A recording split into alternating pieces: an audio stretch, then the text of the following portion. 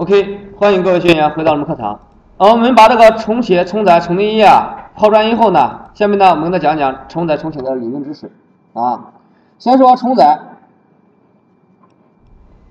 重载必须在同一个类中进行，重载必须在同一个类中进行。呃，重写必须发生在父类和子类之间。比如说虚函数重写，父类有一个函数名 a、b、c，子类里边也有一个函数名啊，这叫重写啊。再看子类无法重载父类的函数，子类无法重载父类的函数，父类同名函数将被覆盖。这句话什么意思啊？我们等会再说。再看这个，重载是在编译器编译期间。根据参数类型和个数决定的函数调用，言外之意是说，重载在一个类里面，在编译器编译期间都已经静态联编成固定模型了，是吧？那我们再看，那重写下面的，重写必须是父类和子类的函数原型是完完全全的一样，不能有任何偏差。这是重写，要不然不叫重写了啊。而且再看再看重写，重写又兵分两路，重写又兵分两路。如果是加上窝体关键字的重写，将产生多态；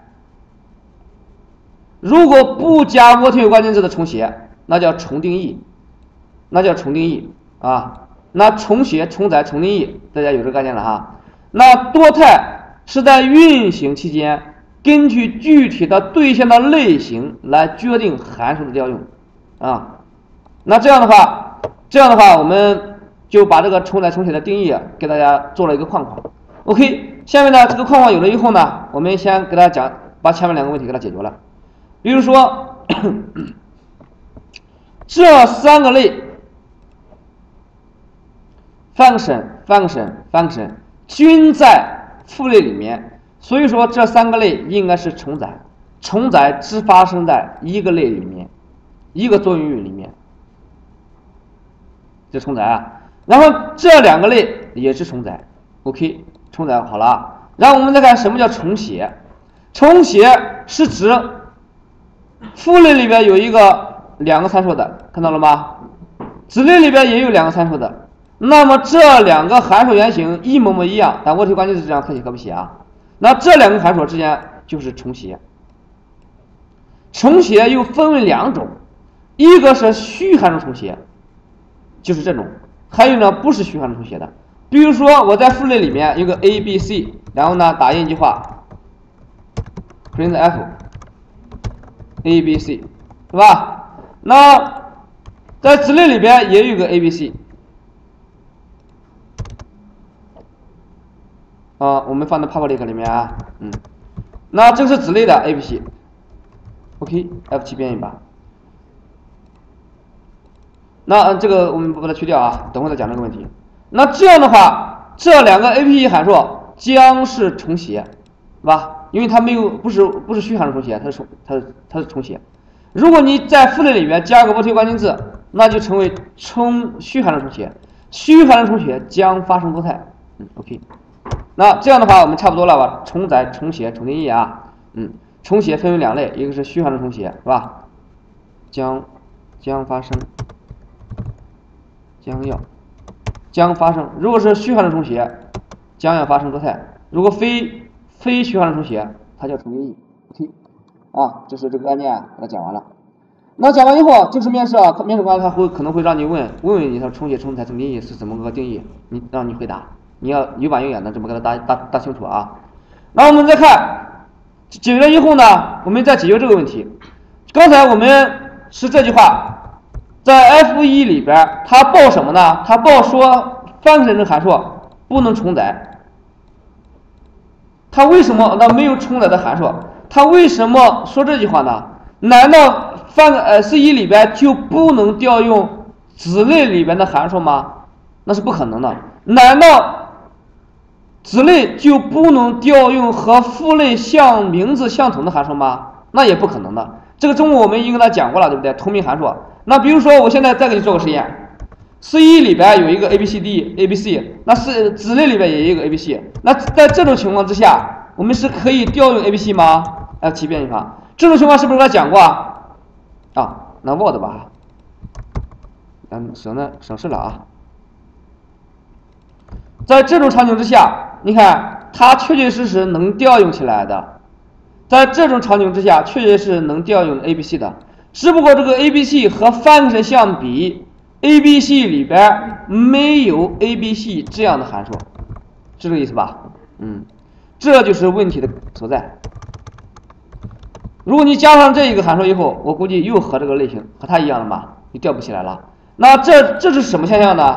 这就是这这就是说了这句话，子类无法承载父类的。函数，父类同名函数将被名称覆盖。就是说，你这个，你其实你这么写啊，其实，比如说他他这么写，就是这个这个人这么写啊，就是想想在什么呢？想在父类，想在子类里面重载子类的 A B C，想在子类里边重载父类的 A B C 啊。他这么写，他他认为什么呢？啊，我从老爹里边继承了 A B C。我自己也有 A B C，然后呢，我再写个 A B C，然后呢，我我我这个地方我在调用的时候，我写个 A B C，它能根据我的参数的个数的不同啊，来选择子类的 A B C，还有父类的 A B C。对不起，它做不到，原因就是这句话：子类无法承载父类的函数。如果是子类的函数和父类的函数。名字相同了，将发生名称覆盖，不会发生重载，因为重载是干什么呢？重载是在同一个类之间，是吧？所以说子类里面不可能重载父类的函数，所以说在这种情况之下，你调用父类的范式函数是调用不起来的。那你怎么样才能调用父类的 A B A B 函数呢？这个呢需要加一个预作用符，就是回到我们的路上来，所以结论别简单。好，只需要加上一个预作用符，显示的调，因为发生名字名称覆盖了，因为这个函数名字啊已经在子类里边备用了，明白吧？所以说呢，你就这样显示的调用一把，才能调用起来。那 F 七变一把。